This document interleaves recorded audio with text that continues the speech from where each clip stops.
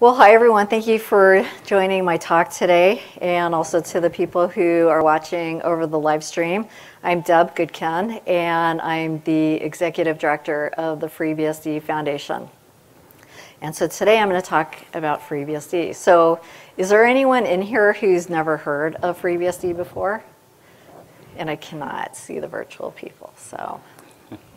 Is there anyone in here who's used FreeBSD? Okay. okay. Great. So I have 50 minutes, and I'm gonna not lecture for 50 minutes. So I will talk, and but also I'd like to make it a little interactive if possible. So please feel free to ask questions if you have any. So a little bit about me is um, I do come from a technical background. It's been a long time since I've done anything. Um, in regards to that, but I did come from the storage industry. I was a firmware engineer for many years and also uh, participated in different aspects of, of that field. And um, so operating systems is, was really new to me, or was when I joined the foundation. And so even though I have a technical background, um, I will not be covering the technical aspects of FreeBSD, and it would be pretty difficult for me to answer, you know, technical uh, questions. But also, um, as you saw here, my Twitter handle is D, D Goodkin at, and uh, you could feel free to um, tweet me questions if you have if you have any, you could DM them. And I have a whole team of people who can help me answer questions. And then finally, I'm just constantly learning and trying to learn more about the operating system and operating systems in general. And so I could teach uh, workshops, which we do around the world, as well as give talks.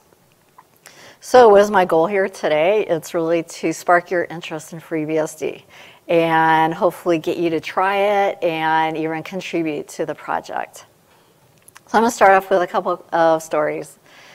So uh, there was a young man, this was back in, I think, the late 1980s, which sounds like so long ago and, uh, and I guess that was. And uh, he moved to the US from the Ukraine uh, as a refugee. He lived in government housing uh, with his mom, maybe some siblings. And um, he met a friend in high school, and uh, this friend introduced him to FreeBSD, and he fell in love with it. And so he learned it, and he started playing around with it. And then in the early 1990s, someone was creating the startup and needed FreeBSD people because the infrastructure was going to be based on FreeBSD. And so he got a job with the startup, which was awesome and did really well. The startup uh, was Yahoo. They did well, extremely well. And then he had his own company idea, and then he and a friend, they co-founded their own company, and for a few years they were really successful.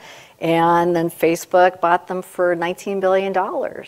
And um, so, you know, it, it's just a great story of someone who just learned and loved FreeBSD and was successful with it. And then another um, young person who I've met, I met a few years ago, I can't remember when, but it was in Europe. And it was at one of our conferences. And uh, he's from Iran and really young, but really excited and passionate and just wanted to learn about FreeBSD. And so he slowly started getting involved with the project. And then he came up to me and he had this idea for a Google Summer of Code project. And I said, Well, you should uh, suggest it and you should be a mentor. And he's like, No, I'm too young. Yeah, I can't do that. And I'm like, Of course you can. Well, you know, we'll help you. There's mentors, there's people who will step in and help you. And he did. And then he started becoming administrator and then getting more involved. And then he ended up uh, moving to France. He got a visa and uh, got his master's in computer science. And then he had all these job opportunities. And it was all because of him learning FreeBSD and gaining these marketable skills. And um, and, and, the thing for him was, I mean, maybe he, he didn't make $19 billion. Um, I mean, I don't know anyone else who has, but, um, but he got to meet people from around the world. And Uh, he learned, he saw outside his own country things that actually he was uh, prevented from seeing. And uh, so it really got to open his eyes. And it was really exciting uh, seeing both cases, actually, of these success stories. And there's many more like those. And so, um, so to me, that's, those are examples of why you, you should get involved with FreeBSD. But now I have to tell you about FreeBSD and then the, some of the other reasons. So the FreeBSD world is really made up of what I've used is these three components. And so the one on the top is, um, that's the actual operating system. So FreeBSD is an operating system. And uh, it, it, came out of Berkeley. And then you have the, the, so that's the code, what you run. And then you have the project. And so, and actually I have a, a few people in here from our project. And so those are the people. And they're the ones who uh, write the code, write documentation, do whatever it, you need to um, you know, support the computer operating system. And then the third component is what I represent right now is the FreeBSD Foundation. And so I'm not here really to talk about the foundation, but uh, I just want to give you a high level uh, summary of it so you understand it because we're not a, an, an, umbrella foundation like a lot of these foundations are. So if you look at like the Linux Foundation, and I'll use them as an example because they're the ones who are putting on this conference, which I actually really appreciate them giving me this opportunity to give this talk. Um, but they're like, they're this foundation that has over 750 projects under them. And um, I truly don't know how they manage all of them because we just manage one. And, well, and actually, so let me be clear on that. So we're a separate organization. We don't manage the FreeBSD project. And we're a whole separate entity, but our whole purpose is to support them. We're a 501c3, so we're for the public good, a true nonprofit. Linux Foundation is what's called a C6, and it's, a, it's IRS uh, classification, and it means they're a, a, trade association. So we're different in, in that way too.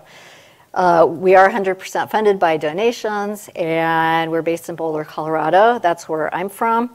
And, but I have people all around the world who, who either work for me or uh, support our organization. We were founded 21 years ago, so we've been around for a long time. And I've been with them for 16 years of that. And our whole purpose is to support the project and the community. So what is FreeBSD? And it's funny because I, I, moved this uh, graphic out of my talk um, and then I just put it back because, and I'm talking about the one on the top right with Tux and the cross out. And, and it's not because I don't like Tux, I think he's really cute. Uh, but it's like, uh, people still get confused with us that they think we're a Linux distribution. And I've talked to people here at the conference and they'll be like, oh yeah, I haven't heard of that Linux distribution. And so we're always trying to uh, get the word out, to remind people, to educate people. And actually, I'll just go ahead really quickly here. Yesterday was a really good example. Microsoft came out with this blog post to talk about their uh, free credits for open source projects on Azure, which we're a big part of. And they actually had FreeBSD listed as the top project, which was really exciting for us until we saw, if you see in the red line, uh, that they expl- they said FreeBSD is a Linux operating system, and it, well, everyone in our community went ballistic on that one. And we actually reached out to Microsoft, and they they quickly changed it uh, which was great to see. But I, I do that because people still uh, just don't realize that because uh, Linux is so prevalent and there's so many distributions out there. It's, uh, so it's free and open source. It's a complete operating system. So what that means is that, so when you talk about Linux, Linux is a kernel, and then you have all these distributions which put the whole operating system together. And we are already that whole cohesive operating system. And so it's so we have the kernel, userland, documentation tools, everything that puts in that one package that you need to run your computer. Uh, we came from Berkeley, and we're used all over the world um, by universities doing research, corporations, and users like you. And we've been around for over 28 years.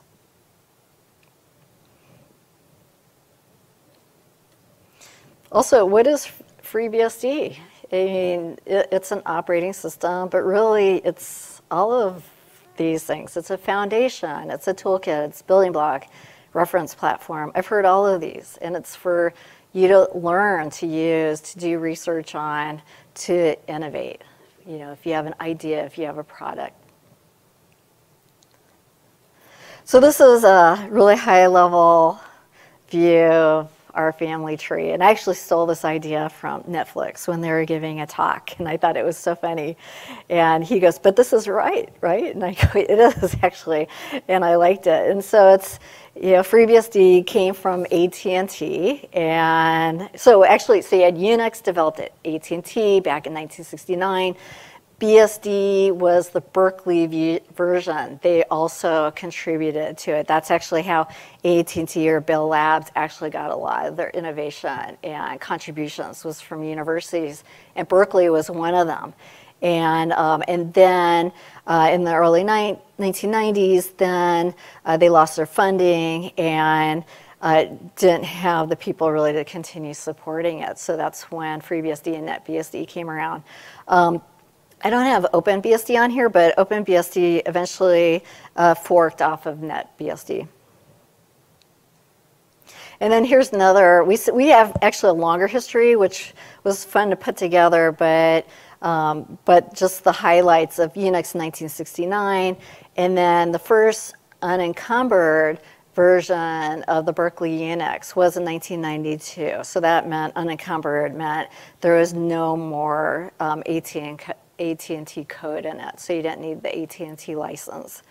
Uh, there was a lawsuit that's most people know about that uh, from the Unix um, System Lab who owned the trademark, and uh, they had a lawsuit against Berkeley and basically, you know, saying you use our code, and they weren't because they had rewritten it all. But still, it's it took about two years for them to um, to settle on that. And so because of that, um, I do point it out because a lot of people will say, well, why, why did Linux take off and FreeBSD didn't? And that was actually around the same time frame. And so most of the developers were caught up in that lawsuit. So instead of working on doing research and development, they were defending the, um, the operating system.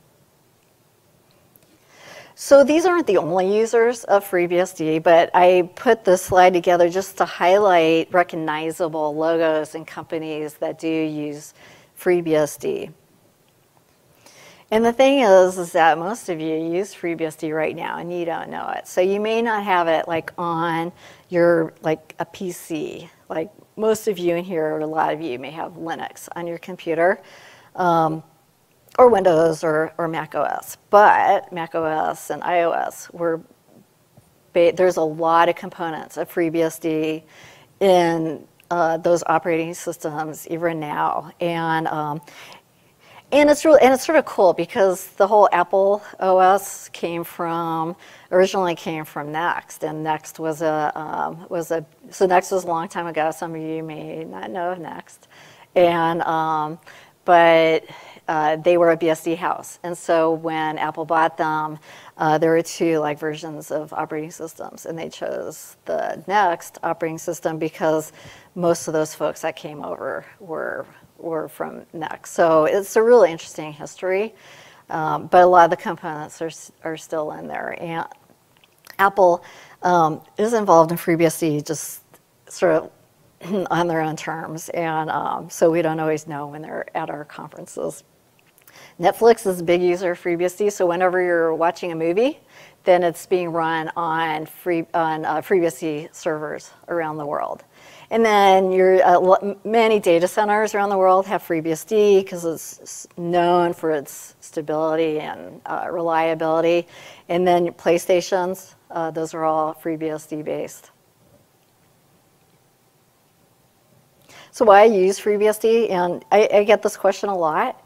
And in fact, I was at a, a, social the other night, and there's this guy who works for the Linux Foundation, and he's a big time FreeBSD user. He loves FreeBSD. And I'm like, why? You know, why? And he's like, oh, my server, it's been up for over 2,200 days. And you know, and he's like, I don't even know if I want to upgrade it because I don't want to, you know, take it down. And um, and then, but he did ask me like, so why why should people? Why do you think people should use FreeBSD? And so. Uh, when people ask me that, the first thing that comes to my mind is really the, the community. And if you're thinking of um, I mean, there's two ways of thinking of getting involved with FreeBSD. One is to use it, like companies will use it in their products or their infrastructure. But also, a lot of people, especially like here, want to join a community, an open source community. If you're a student, like that's the big thing, get involved with open source. And there's thousands of projects. And so, how do you even know which one to pick? And so, to me, it's like you know, it's what you're interested in. So if you're interested in operating systems. Um, but the other thing is really the community. What, if you're working, if you're volunteering for this community, this project, this product, um, you know, what do you want? And do you want people to be, do you care if people are friendly to you? Do you care if you have questions and people will be rude to you or be really supportive of you? So I see uh, the latter in, in our community. And we're known for excellent documentation. In fact, we were uh, working on something. I have a, uh, another system here in my backpack that's running FreeBSD, and I was trying to set it up. I'm using a GUI that I'm not familiar with, and that's why now I'm not using it to present. And, but um, in order to connect it like to the Wi-Fi here, uh, I was able to find like that information online real easy. And so, and we're, and we're just constantly trying to improve that and add uh, more, more documentation and making sure our, our documentation is up to date. So, um, yeah, and then just all these other reasons. Well, another big reason too is the BSD license. And that's why a lot of companies use uh, FreeBSD and the BSD license is a permissive license, which means that you could do anything you want with it. And um, you don't have to give back your changes if you don't want to. And, and that's part of the project's goal is really it's to be able to use it for any purpose that you want and there's no strings attached. So our model, I know this is sort of a busy um, slide here. Um, my slides will be up on their website, I think under this talk, so you can go back and um, and find these. But uh, but we actually have a long history with how our projects govern and how it works, and so we've learned over the years, and there have been improvements made, but it really still followed the philosophy of what uh, Berkeley set up. We have thousands of contributors. We also have hundreds of committers to the project. We have a, our leadership is made up of uh, nine elected core members and elected by the, the committers. And we do have a strong mentorship philosophy. And we don't have a benevolent dictator. You, we don't have one person who oversees the project, who makes all the final decisions. It's a, it's a democratic process. And then this is what so this is like my view of how the project is organized. It's not an official org chart, um, and it's not actually the best one because it'll just explain in a second. But what I'm always trying to show is how the foundation is totally separate from the project. And we're just here to support them, to guide them, provide input from what we're hearing of users, challenges of companies, things like that. And then, yeah, the core team, who's the leadership. And then the red boxes below are just part of that whole list below that of different functional teams. And um, and so the red boxes aren't any more important. I just I thought it'd be really busy if I made everything a red box. But we have um, all these different areas of folks with expertise or uh, just areas that people are interested in supporting the project.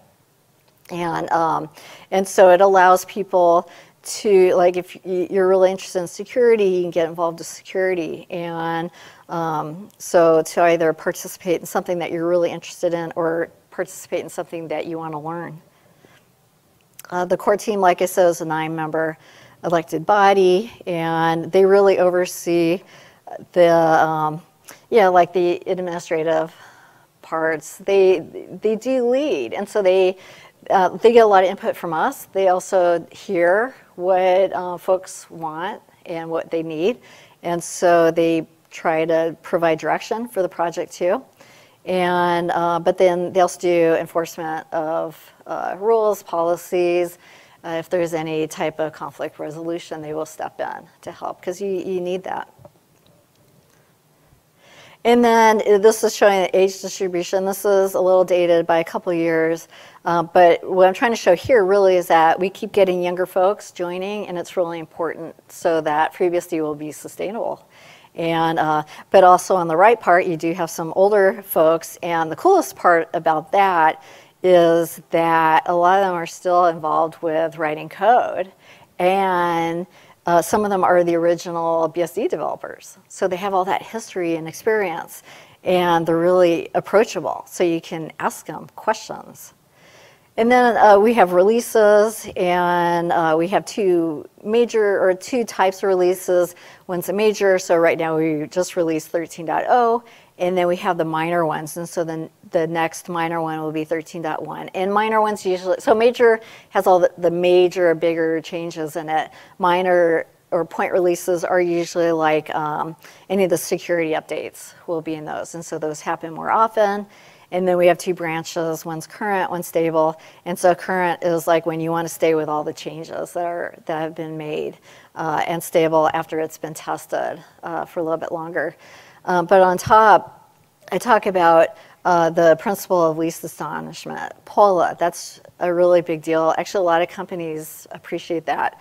Uh, the fact that we don't make changes just to make change. Like if things work, keep it. But well, but if things work, but you can improve on it, do that. But don't change just you know to make changes. And um, and so it's a really good philosophy. It really helps with the stability and reliability of the operating system. So there's many ways to contribute, and, um, and it's easy to get started. I put the URL here uh, that I suggest to go to to um, find out about how you can contribute. But really what I suggest is get involved with documentation because even if you're a coder, it, documentation is a great way to learn how FreeBSD works and um, also to learn the tools because you use a lot of the same tools with that. Uh, if you have a port you love, uh, always looking for maintainers, or if there's a port or software package that we don't have, um, port it over and be a maintainer for that. You can go through our bug list and fix some of our bugs. And, uh, and then we have resources here that uh, we started last year, uh, like a FreeBSD 101 series, where every other week uh, we had someone talk about like a basic, like an area of FreeBSD, but at a high level. And so we have all those recordings available. And then um, we also have a lot of other resources on that resource, that last URL. And so we have how-to guides and all sorts of things there. Some of the exciting things that have been going on FreeBSD, we did, I mean, so we were a little dated. uh, we are still in SVN, but it worked. And, but we did transition to Git, and that's been really successful. And it's good because, I mean, that's what people know. They're using it. Their companies and uh, young people are using it at their universities. So that's really helping. Uh, we've been known with the, having the ZFS support in FreeBSD for a long time, over a decade. I want to say like 2010 maybe. But anyway, we, um, we're now working with what was originally Linux on ZFS, and then they started the OpenZFS project. And so we're working together on changes. And so that, may, that means both projects get the improvements and features. Um, CHERI, I'll, I'll, talk about in just a sec. And we are working on improving the desktop experience. FreeBSD is really strong uh, in servers. And, um, but a lot of people do use it on the desktop. But right now it's not as straightforward getting it on your desktop as like if you bought a Mac and the OS is right there and it just tells you exactly what to do to set it up. So we're working to improve that. And then the tools are, uh, got rid of the last component that was G, yeah, GPL, that was, that's the license that Linux uses. And uh, so it's a much more uh, modern uh, FreeBSD uh, toolchain that we're using. And CHERI is really exciting, and I won't go into detail of this, but it's a project through University of Cambridge, and they've been doing research with FreeBSD and security for, for years. And so they have a partnership with ARM, and ARM created this Morello board, and basically what they're doing is using a RISC, uh, some of the RISC architecture, um, the instruction set, instructions, and, um, and making it really secure, especially like for IoT. And um, so it's all about protecting memory, and they use what's called CheriBSD as the operating system, and that's FreeBSD based. And the really cool thing is they've been working on this for quite a few years now, and so they're in prototype stage uh, right now, and uh, when they come out eventually in production, the, I mean, FreeBSD is just going to be way ahead of the other operating systems because of this work and a list of why companies use FreeBSD. I mean, really, the I'd say because of the well, history of innovation is a big deal. I mean, I hear that a lot. High performance, the business-friendly license, and uh, ZFS. I would say would be the biggest reasons. So to talk a little bit about Netflix, they gave a talk at our Euro BSD conference, which was just a few weeks ago. And so I put I took the slide out, of his slide deck, and then on the top I have his, um, I don't have the URL because it was too long, but if you just search for serving Netflix video, if you actually just search Netflix and FreeBSD, I'm sure that you'll find this. And what he talked about was um, how they're going to get to transferring 400 gigabits per second off of a single server. And what I grabbed from this slide was just like right now, they're at 200 gigabits per second. And so in his talk, he talks about what they're going to do in order to get there. So they already know how they're going to do it. We have a case study on our website, and I have the link at the bottom. And so um, basically, they provide these servers all around the world. They use off the shelf components and they're getting their performance by a lot of the tweaks that they can make in the actual kernel. And the cool thing about, uh, so some of these numbers on the top right are now a little dated, and so that's why I included his slide, just because we, at peak, they were transferring the 90 gigabits, but now they're at 200. And so they're getting high throughput, and they upstream almost all their changes, but they, are, they can keep their little proprietary uh, changes themselves because of the BSD license. But they up, upstream most of their code. They give back also financially to the foundation by supporting our efforts. And they also follow the current or the head branch. So they really keep on top of the changes. And it's actually really cool for us because we get their changes right away. And so we benefit as a project from them. But, and then they benefit because we start testing all their changes. So it's, so there are a lot of benefits because of that. Other features of you know, FreeBSD, the ZFS, and UFS. Uh, dtrace, a lot of people love FreeBSD because of it. It's a, um, it, it's a way basically to um, you see what the kernel is doing. Uh, you do performance analysis, and but also debugging without it affecting performance at all. So it's real time. Uh, that's that's running while your operating system is running, but it doesn't affect the performance at all. Jails was created in FreeBSD. Jails was one of the original container solutions, and people still use it. bhyve is our own hypervisor uh, TCP IP, we did not uh, develop that, but it came out of BSD, and so now FreeBSD is used a lot for reference platform for that. And Caps, Capsicum is another security um, framework that is also part of that whole CHERI project out of University of Cambridge. So I talked a little about about the desktop and how it's people um, we're not known for um, you know, being the best operating system for your computer, personal computer, but a lot of people do use it. And so there are these distributions out there that a lot of times when I meet with people and they want to try FreeBSD, then I suggest one of these, um, these desktop distributions. In fact, I, so now I'm playing around with my uh, computer with FreeBSD. And so actually, I'm sort of attracted to Hello System. I think it's really intriguing. And so I'm going to try that out. But I also suggest that people, when you're going to try an operating system, that, you know, it's even with Linux, it's a little painful to you, you know, to set it up because you have to go in there and change like the configuration files. You have to know what's the Wi-Fi, what's where the devices is not, and it's not like in plain English of what you're you're setting up. And so, I think it's really important, even people who are non like not technical, um, or they're not going to go into computing that you understand the foundations of your computer. You really should. And so when you go through that exercise of configuring your system, and you have to read up on what you're going to do, and um, but you have it set up, and now you understand like, oh, I have this hard drive and it's mounted. What does that mean? What's the memory? How do I access it? That then it's, it really gives you that foundation for using a computer. So, so if something fails, then it's easier to debug and understand what's going on. It's just like if you have a car, you should know, you know, the basics, basic mechanics of a car.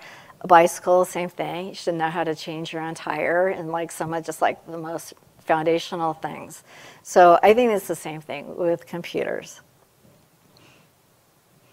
Containerization this is some of our options. We're still working on more solutions. Right now we don't support Docker. Actually, uh, someone from my community is going to come up and talk a little bit. And, um, and he does, he uses the Linuxulator a lot. And that allows you to run Linux binaries on FreeBSD. And what we're finding and hearing is a lot of times people say those uh, binaries actually run faster on FreeBSD than Linux. So but we have these other um, projects too going on to do containerization. And so I do, I'll, I give this talk a lot of times at Linux conferences. So is this a Linux conference? Yeah, it's put on by the Linux Foundation. It's called Open Source Summit, but still really, what's the focus? Is It's Linux. And um, and, and, which is fine. And um, I mean, what I hope is maybe I'll get people interested in trying out FreeBSD. But here's uh, some of my reasons of why I think that we should work together. Not necessarily develop code together, but um, you know, why, as a Linux developer, as a Linux sysadmin, you know, whatever you do with Linux, why you should learn a little bit about FreeBSD. And so it's, it's like anything that you should just understand other, uh, it, I mean, if you're an operating system, systems specifically, you should understand other operating systems.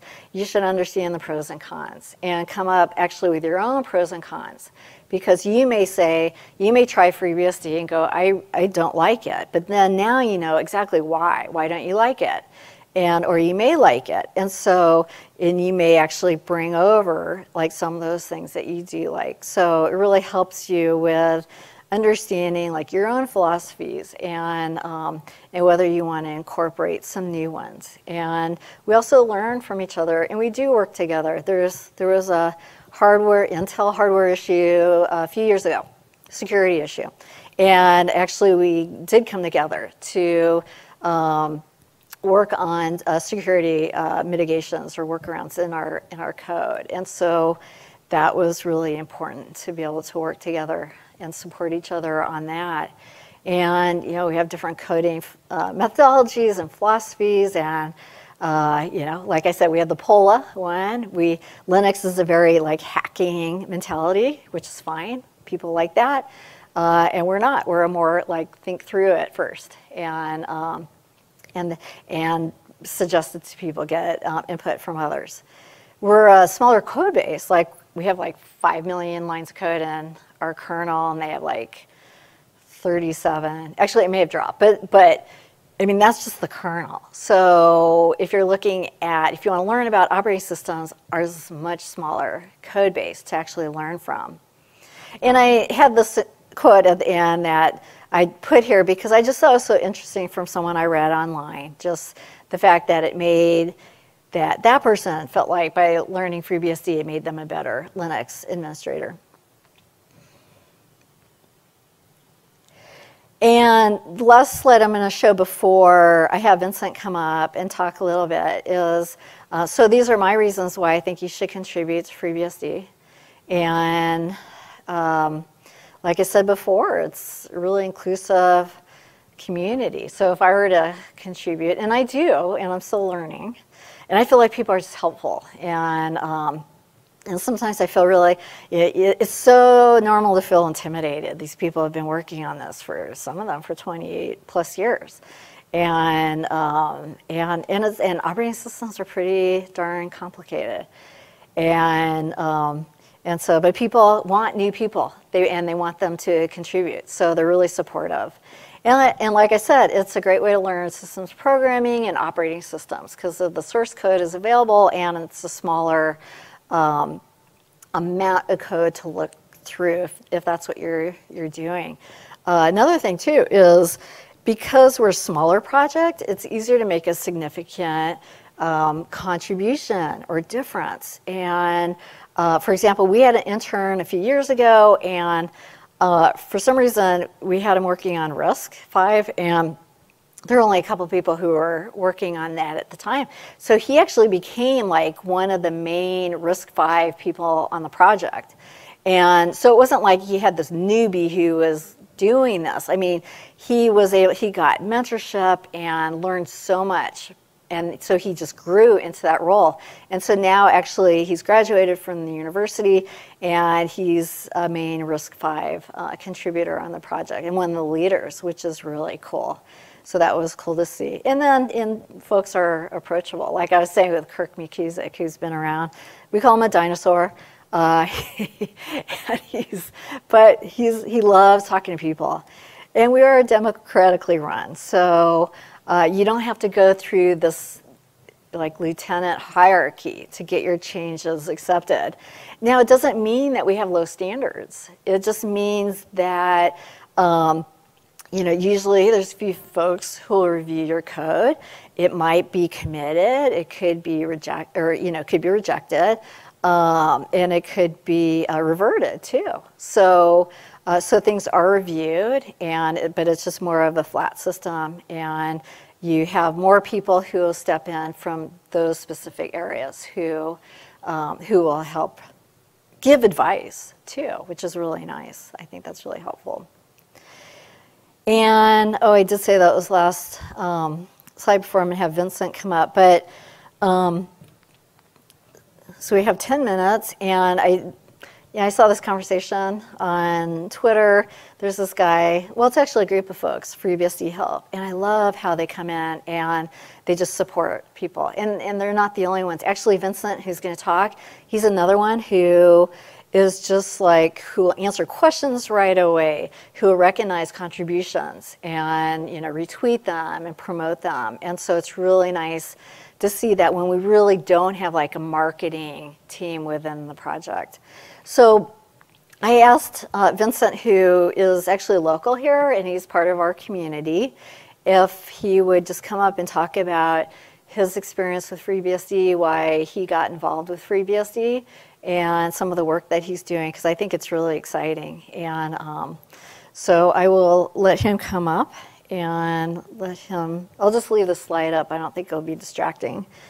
And um, I'll put my The, the slide is perfect. Uh, helpful oh, community. good. Okay. All right, so uh, my name is uh, Vince, or Vincent Milum Jr. If you go and actually try to find me on social media, um, I go by uh, Darkain, D-A-R-K-A-I-N. And uh, I got into FreeBSD a little over a decade ago um, because I was working uh, at a small uh, e-commerce shop for a while.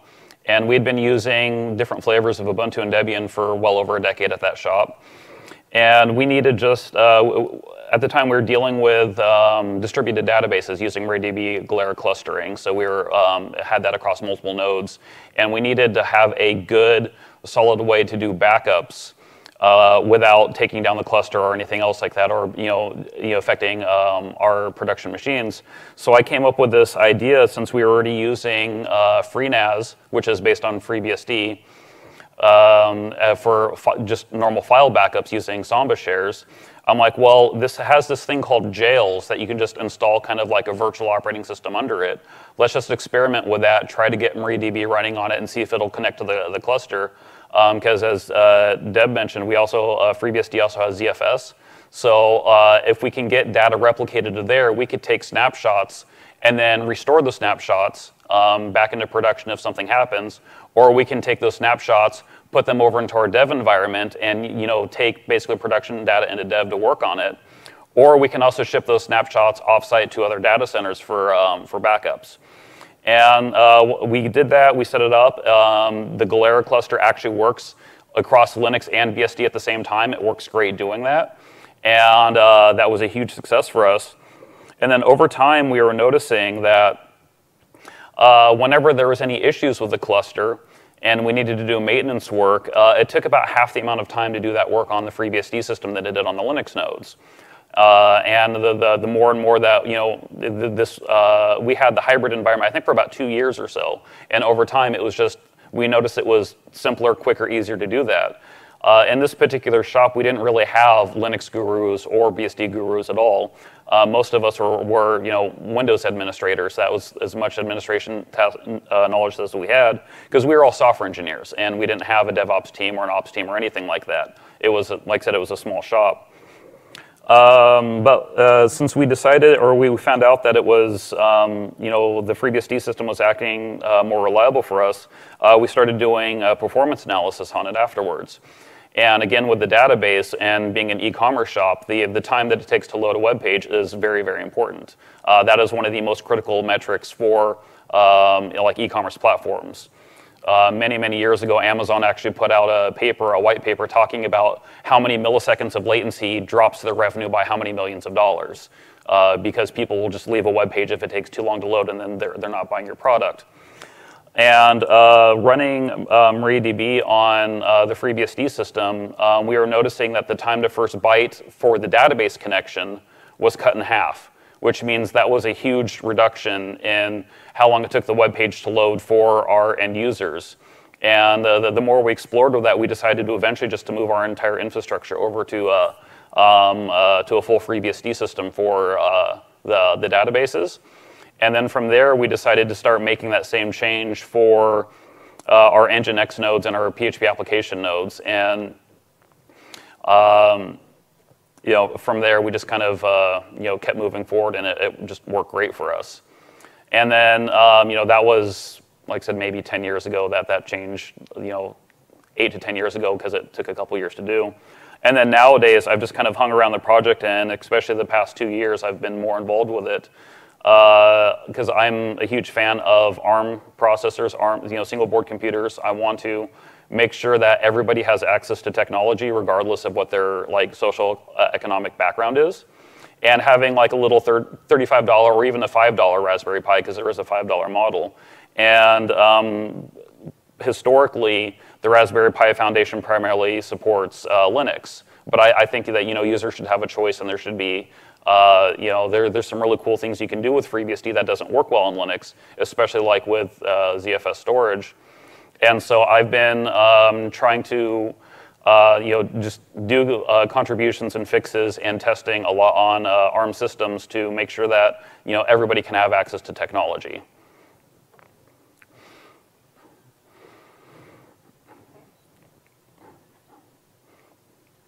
It's like, is there any uh, questions or any other stories you guys want to hear about?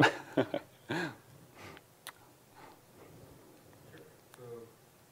your opinion, uh, how much better is ZFS on the ZFS code base is virtually identical on the two at this point because, um, uh, as Deb, Deb, mentioned, there was multiple branches of ZFS. That's when they introduced the, the feature flags. So there was a ZFS on Illumos on FreeBSD. FreeBSD was based on Illumos. And then Linux took it in a completely different direction, implementing uh, different features. And then uh, um, everybody decided to get together and re-merge those code bases together. So a lot of the FreeBSD code was integrated onto the ZFS on Linux project. And then uh, from there, it was rebanded back to OpenZFS, which was the initial intent, intent when ZFS came out. But you know they kind of diverged. But now that they've brought it back together, it is one shared code base uh, for those two operating systems. And I believe this year the um, the Mac release should also be on that same code base. And I believe there's also work to bring Illumos back to the, the core OpenZFS code base as well. So that way everybody will have the exact same code base on all operating systems. And there's even uh, like one person that's doing it primarily solo to bring it to Windows as well.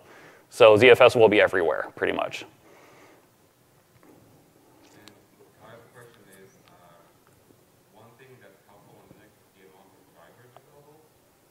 The amount of drivers that Linux has?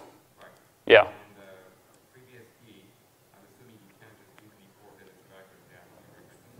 So for uh, there, for the questions about Linux drivers porting them to FreeBSD, um, from a technical standpoint, yes and no. It depends on the driver. Uh, there's a lot of uh, KPI work, the, um, the kernel, whatever, I don't remember exactly what it stands for. But if you look at the, um, the GPU drivers for AMD and Intel, uh, those are actually the same drivers used on Linux. Uh, there's a, a, compatibility layer there to use that code. And I believe a lot of the work for the Intel Wi-Fi driver right now, the, a, the AX200 drivers, I believe are also the, the same shared drivers for uh, Linux as well as I think OpenBSD already has them.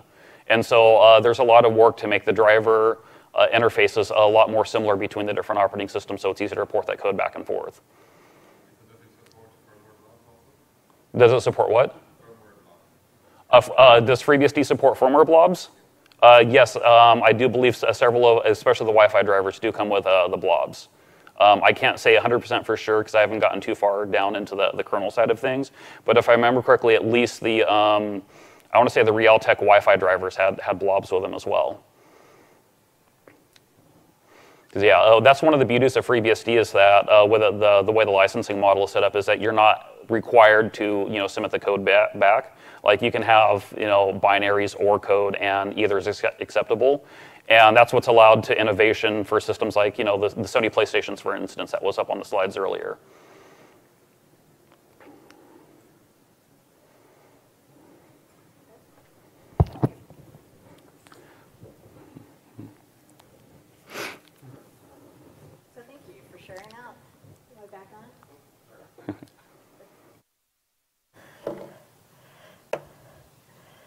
Okay, thanks. And so, um, so that was really just to share a story. Actually, I have someone who can answer more of the technical questions too, which is really always really helpful. Um, and so, I uh, it was a few weeks ago. I met a young man who uh, he worked at a big company who he said actually uses FreeBSD. And he said, I really want to get involved with FreeBSD because he wasn't actually part of that group that used FreeBSD. And so then I said, oh, send you information, and always trying to get new people involved. And so then I just opened up a Google sheet and or document, and then just started going down like, if I were to get started with FreeBSD, what would I do? And so I just sort of put this list together. And I thought if I had time, which uh, it looks like we've run out of time here, um, I would actually given you a tour of some of these websites. But uh, you can come back to the PDF or take a picture to get a lot of these URLs. And I just felt like this was just a good step-by-step way of learning FreeBSD. Um, LPI, the Linux Professional Institute, also does a certification for BSD. And if you actually go to their certification page, they actually list all the components of what you need to know for the test. And so I think that's actually a really good way of learning FreeBSD too. You could just like go step by step to, it just gives you something to have to figure out. And um, so anyway, so this, this was my step-to-step guide and then also have resources here. Some of it's overlap. There's two excellent books. Uh, one is actually, if you're interested in the design of operating systems, the darker one uh, is written by Kirk McKusick and a few others, and uh, that goes into all the detail of the operating system. The one on the right, the Absolute FreeBSD, is a great one for like for me, the users of FreeBSD when I'm setting it up and for sysadmins. So uh, those are two books I would highly recommend. Right below it, we have the resources. We do have a magazine, a journal with lots of FreeBSD articles in it, which is actually applicable to anyone who's using like a Unix-like operating system. And then I have resources on the left. Um, the handbook is excellent. Uh, I mean, really, I've sat down on the couch, like on a rainy day, it's just started reading the handbook. And it's actually really, it's an interesting read, which is unusual uh, for you know, technical documentation, but it's really helpful too. So, uh, so you have that. And then the other thing I would suggest is the history of FreeBSD, because that's told by uh, Kirk McKusick, who is part of that history. And he's always really interesting to listen to, as well as he just knows it all. So that's it. I, I'm not sure if we have, it, we did have a little bit of time. I'm being told to stop. but um, but I will be around after too. And like I said, if you have any questions, uh, you can always tweet them. You can DM at dgoodkin at on Twitter and or just grab me. I'll be around for a little bit. And that's it. So thank you so much for sitting through this and uh, joining us with this the story of FreeBSD.